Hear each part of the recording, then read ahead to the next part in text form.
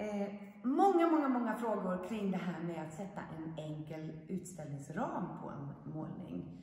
Eh, en sån här liten eh, vit sak kan vara en annan färg också. Eh, det behöver inte vara så himla krångligt och vi tänkte bara ge er ett snabbt, snabbt tips på hur man kan göra. Vi köper såna här helt vanliga billiga lister på byggmarknaden och målar dem med ett lager vit färg, titanvit. Eh, vi gillar när träet går igenom, men det gör man ju precis som man vill. Man kan måla om vilken färg som helst. Låt det torka, ena sidan, kanten och sen brukar vi bara ta halva baksidan. Och sen har du liksom underlaget för att göra en ram. Sen behöver du också en såg, vilket är fiffigt. Någonting som gör att det inte fransar upp sig så mycket när du sågar. Vi använder med lycka en spikpistol. Då behöver man också en kompressor. Eh, det går säkert bra att eh, även spika med andra saker, men det här sparar mycket tid kan vi säga. En hammare, inte dumt. En blyertspenna. Så jag tänkte att vi skulle bara kika lite på hur man kan göra väldigt snabbt och lätt en ram. Här har jag en målning som jag tänkte spänna. Börja med att banka i kilarna ordentligt om det var ett tag sedan du eh, spände den här målningen. Därför att annars så finns ju en risk att den är liksom slö från början. Det vill jag inte när du nu fixar en ny ram. Så. Sen brukar jag göra så enklast. Jag lägger listen så här. Jag räknar nämligen inte med att mina målningar är 100% raka. De ska ju vara det, men de är aldrig det. Så jag gör helt enkelt så här. Jag tar målningen. Jag sätter den. Det är nästan så du kan komma runt.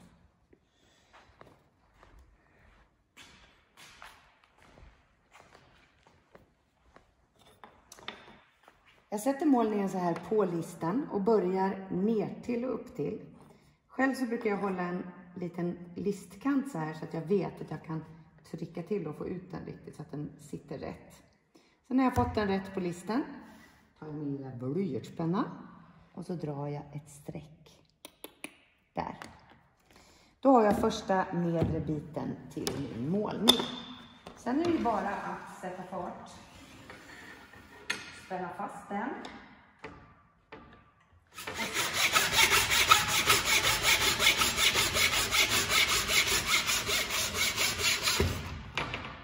Så, nu har vi första biten.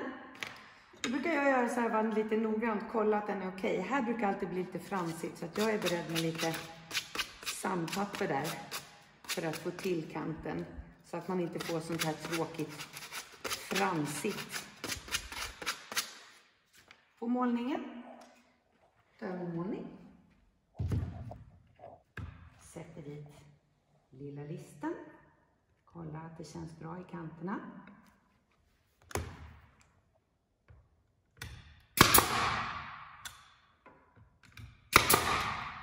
Och så har vi första delen på målningen klar. Sen gör jag likadant på den andra sidan.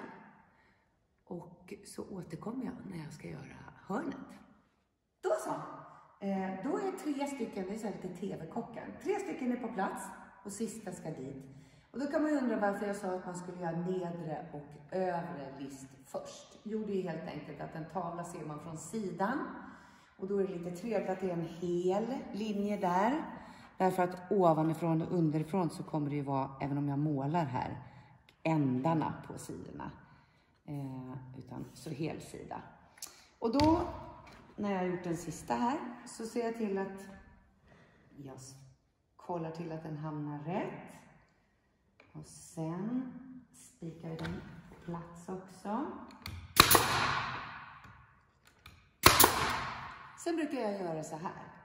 När man har sådana här listor så har de en tendens, eftersom vi sätter spiken så här nära in i kilramen, då brukar jag göra så att jag tar kanten här och ser till att pressa in så att jag får ett rakt hörn.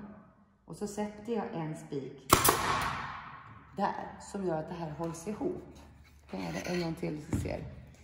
Den här kanten vill jag ju inte att den här listen börjar glida åt olika håll. Så jag trycker till där. ser till att det är jämnt. Spikar där.